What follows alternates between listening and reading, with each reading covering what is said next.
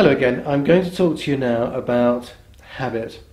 Habit is a word that's used a great deal in connection with smoking, indeed, in connection with all drug taking.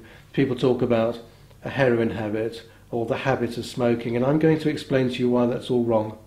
Yeah, I'm afraid I really am going to explain why it's all wrong. Why the reason you can't stop smoking is not because of the habit. Don't get me wrong, I'm not saying that you are not in the habit of smoking. You are. There are certain times of the day when you habitually smoke. We're coming to that. But habit is not and cannot be a, the problem, the reason why you can't stop. It's why in the programs we run at the Institute, um, we don't actually go into habit because the things that we do stop people smoking and the habit just turns out not to have been an issue at all. So first, let's define what we mean by habit. According to my dictionary, it's something, it's an action, it's something you do automatically without having to think about it.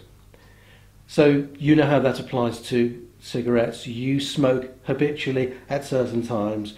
You get in the car. You get out of the car. You finish a meal. You finish a job you have a cup of coffee, you have you pouring a drink, you're talking to someone on the phone. These are all times where habitually you're going to smoke, and therefore you come to believe that that's the problem. Well, I need to smoke at those times, and I'm going to show you why that's not true. People get on the phone to us all the time, and, and some, you know, we ask them, why can't you stop? It's a question we always ask, and most people can't answer. Um, but a lot of them will say, well, it's with me, it's just a habit. And we say, okay, well, we're going to resolve that for you right now on the phone. You don't need to do any program, take anything. We're just going to tell you how to deal with that. And they think we're joking, and we're not. And I'm going to put this to you as an idea now. If you actually believe that habit is the reason you can't stop smoking, I'm going to tell you now how to resolve it very, very easily. Okay, we've defined what it means. You smoke cigarettes because they're there. So they're there, they're easy to smoke. So here's the answer. Don't buy any cigarettes. No, don't switch off. I know what you're thinking. You're thinking, what on earth is this bloke talking about? If it were that easy, I would do it. But I'd have to go and buy some. And actually, I'm going to agree with you. You're absolutely right. Of course, you'd have to go and buy some. And by doing that, in fact, I've um, won the argument. I've proved my point.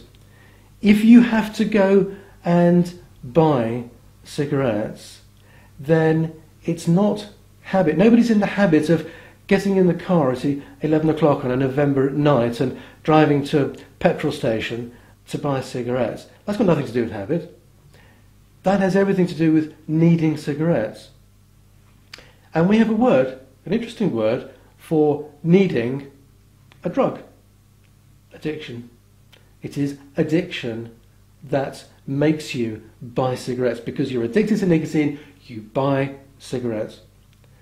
Because you've bought cigarettes, you've got cigarettes. Because you've got cigarettes, you smoke cigarettes habitually, but it was not the habit that made you buy them.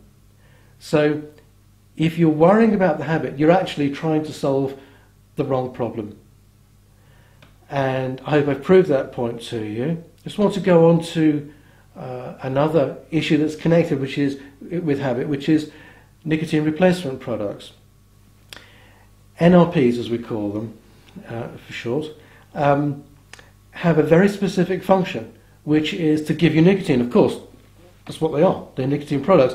So their job is to maintain the addiction for you, to keep you addicted to nicotine, to, while you break the habit of smoking cigarettes. That's all they can do. They help you to break the habit of cigarettes. And if habit were the problem, they'd be great. If you've ever used a nicotine replacement product and you didn't need to smoke while you were on it, but when you came off it, you needed to smoke again, that's demonstrated perfectly that it's not a habit issue, it's an addiction issue. You get nicotine, you don't need to smoke. Suddenly the habit of smoking isn't important because you're getting the drug. You come off the drug, you do need to smoke. So it can't be the habit that made you do that. So habit's the wrong word in connection with all drugs. It has nothing to do with why people take drugs. It has nothing to do with why you can't stop smoking. I hope I've proved my point. We'll go on to the next one shortly.